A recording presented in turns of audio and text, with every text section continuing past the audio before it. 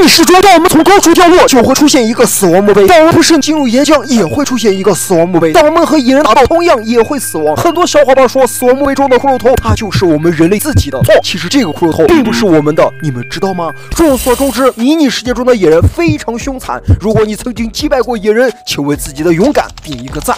根据我和学姐的研究，我们发现，我们死亡之前是有一只手的，但是我们和野人打斗以后，就会被野人所击败。这个时候出现了一个死亡墓碑，但是我们发现，在死亡墓碑的右下角同样有一只手。但是我们发现，人从高空中掉落，同样也会出现一个死亡墓碑，但是在这个死亡墓碑的下方，同样也有一只手，并且我们发现这个骷髅头，它好像并不是我们人类自己的。在评论区中扣出六八二六，你将会知道这个骷髅头它究竟是谁的。因为我和学姐发现，我们人类在迷你世界中发生嗝屁以后，我们就会躺在地上。小伙伴们，你们看，就像这样，这时候的手肯定不会在骷髅头的右下角。我们发现骷髅头右下角的这一只手和我们发生死亡之之前的手是一模一样的，所以这就证明，其实这个骷髅头它并不是我们人类自己的。你们知道了吗？